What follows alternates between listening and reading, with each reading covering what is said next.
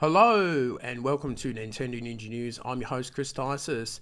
Now I saw something from Vooks.net that kind of picked up my interest, and it looks like um, there is going to be a licensed Mario Kart Kids bike in Japan, which is fantastic. It's got all the different brands on the uh, the side of the bike. It's got the M for Mario and all the different pattern designs on it. Have a look at the thumbnail, and uh, we might show off the Vooks uh, article, which looks fantastic. And um, it's going to be for Australian users, it's going to be about two hundred and fifty dollars. But um, really, really cool to uh, see this sort of type of branding. And um, if I was a, a young one again, I would that would definitely get me interested in riding a bike. So yeah, good to hear.